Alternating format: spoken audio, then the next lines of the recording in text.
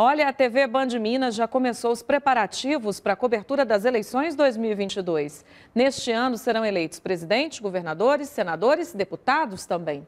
Hoje, representantes da emissora e dos principais partidos políticos se reuniram aqui na sede da Band Minas.